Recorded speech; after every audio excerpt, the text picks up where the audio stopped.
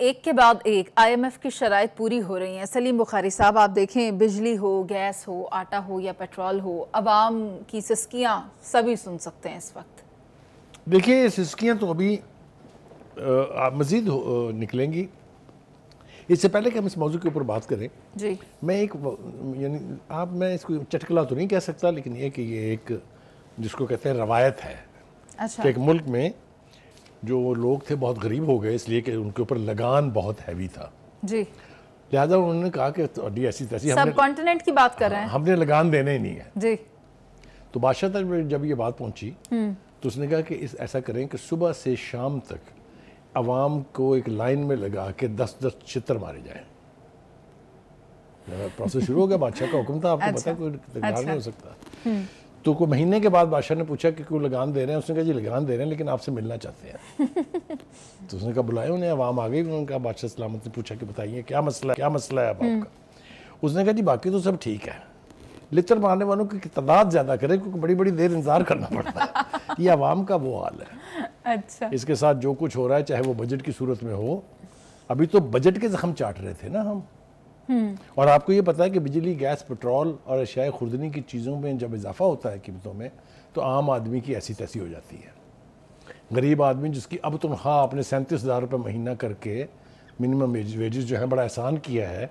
ज़रा मुझे सैंतीस हज़ार के अंदर ज़रा बजट तो बना के दिखाएँ किसी आदमी का, जिसने मकान का किराया भी देना है, जिसने बच्चों की बीमारियाँ भी देखनी है, उनको स्कूल भी भेजना है, खाना भी खाना है। आमदो रफ्त के लिए भी खर्च करना है। साहब चुनीदा लोग होंगे जिन्हें सैंतीस मिल रही होगी। मैंने तो पंद्रह या बीस हज़ार वाले लोग भी देखे हैं। एब्सोल्युटली एब्सोल्युटली वो दिहाड़ीदार मजदूर जिसको तीस दिन काम ही नहीं मिलता उसका क्या बनेगा? लिहाजा तो रखना हुकूमत से ये कि उस आम आदमी का दर्द महसूस करेंगे। मुझे तो नहीं लगता ये जो मंजरनामा मैं देख रहा हूँ मुझे ऐसे बिल्कुल नहीं लगता कि हुकूमत को या हुकूमती जो। वजरा है जो बजट बनाने के जिम्मेदार हैं उनको कोई आवाम से हमदर्दी हो। मुझे एक जेस्चर भी ऐसा नहीं लगता। बुखारी साहब अगर मैं प्राइस कंट्रोल लिस्टों की बात करूँ तो वो भी तय करने के लिए अपने एसी वाले कमरों से एसीडीसी बाहर नहीं आते। करेक्ट और फिर उनके ऊपर अमल दरामद हो रहा है कि नहीं हो रहा है इसके लिए कोई मॉनिटरिंग सिस्टम नहीं है। अनफॉर्चुनेटली हमारे यहाँ तो कंज्यूमर एसोसिएशन भी नहीं है। आपको पता है पूरी दुनिया में consumer and how they control prices उनकी राय जो है, उसका कैसे एहतराम होता है, ये यहाँ पर ज़िक्र करना भी बेबानी है। एनीवे हैविंग सेड दैट जनाब, जरा आ जाइए थोड़ा सा तफसील की तरफ़। घरेलू सार्फिन के लिए बिजली के बुनियादी टैरिफ में सात पॉइंट बारह, यानी सात रुपये बारह पैसे का इजाफा हो गया और फ़ी यूनिट अड़तालीस रुपये चौरासी पैसे मुकर कर दिया गया। कर लो जो करना है आपने। सात रुपये और बारह पैसे का इजाफा फ़ी यूनिट ये तबाही की दलील है गरीब आदमी के लिए। ठीक हो गया जी। और इससे वो ये फरमा रहे हैं कि 600 अरब रुपए का इजाफी बोझ बड़ा ऐसा हल्का सही 600 रुपए अरब उनके लिए कोई चीज़ ही नहीं है। अब मैं बिजली की थोड़ी सी वारदात जो है, वो अपने नाजिन के साथ शेयर करना चाहते हैं।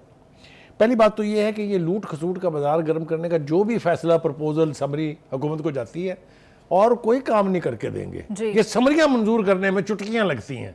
अगर वुजरा इकट्ठे नहीं है तो सर्कुलेट कर देते हैं इंटरनेट के ऊपर कि हाँ करके भेज दें और आ जाती हैं। जी।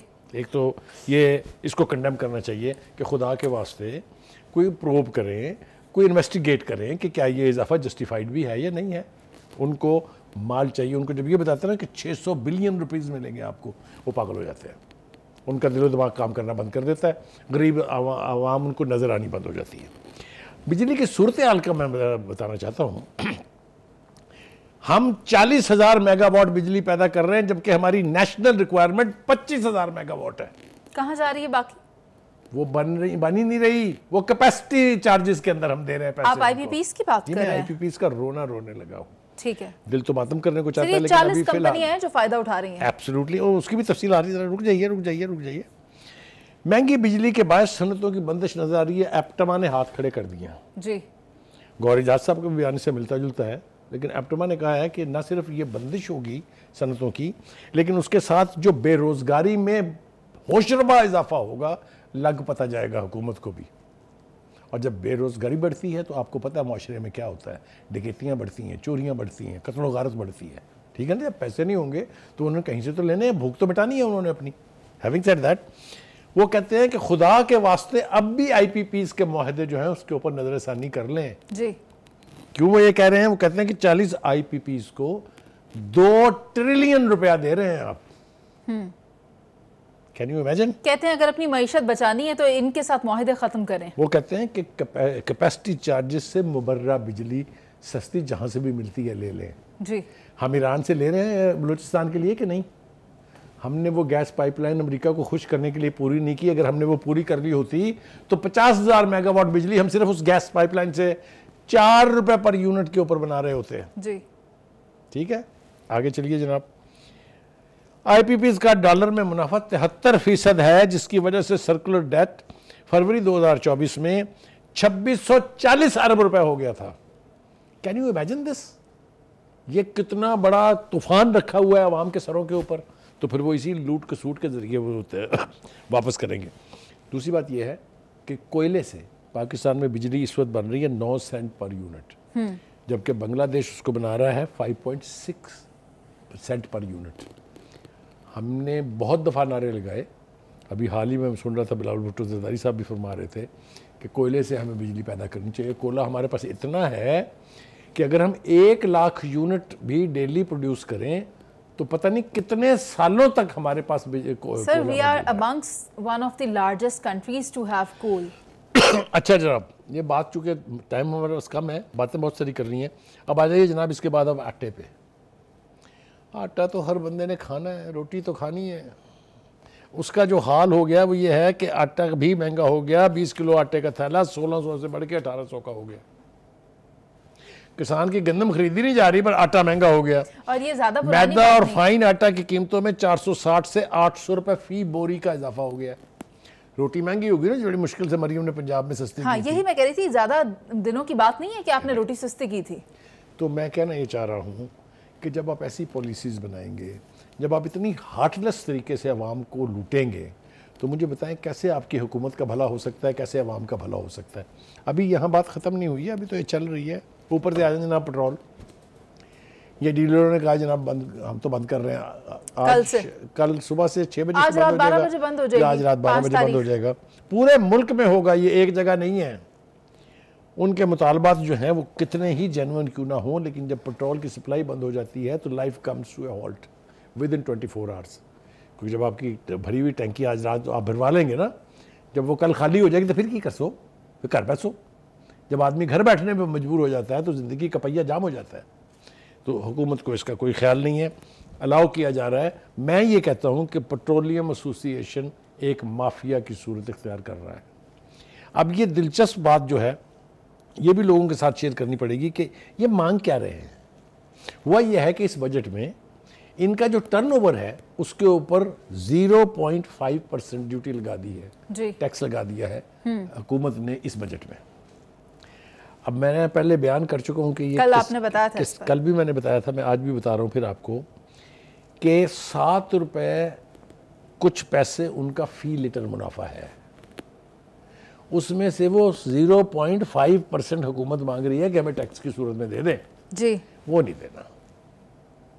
मैंने कल तफसील से बताया था कि कितने सालों में इजाफा कहाँ से कहाँ पहुँच गया है।